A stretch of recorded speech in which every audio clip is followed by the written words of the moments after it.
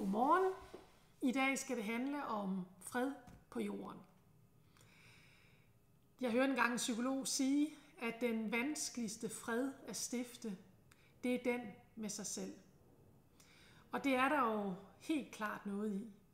For den person, som vi viser mindst barmhjertighed overfor, det er os selv. Vi er hårde ved os selv. Karen Bliksen, hun har sagt et sted, Gud undte den mindste skabning at være til, og at være til som sig selv. Jeg synes, det er fantastiske ord at blive mindet om.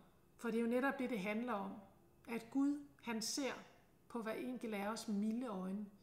Han ser vores kampe. Han ser det, vi tumler med.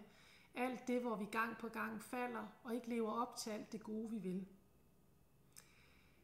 Alligevel så er julens glade budskab det, som englen bringer til os. Ære være Gud i det højeste og på jorden. Fred til mennesker med Guds velbehag. Juleglæden til os, det er jo netop, at vi hver især får lov at stifte fred med dem, vi er. Dagens opgave, det er, at du skal stoppe med at være så hård mod dig selv. Du skal begynde at tage imod dig selv som den du er.